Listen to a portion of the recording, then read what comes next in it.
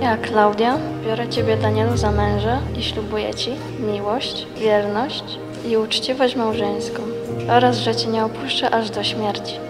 Ja, Daniel, biorę Ciebie, Klaudio, za żonę i ślubuję Ci miłość, wierność i uczciwość małżeńską oraz, że Cię nie opuszczę aż do śmierci.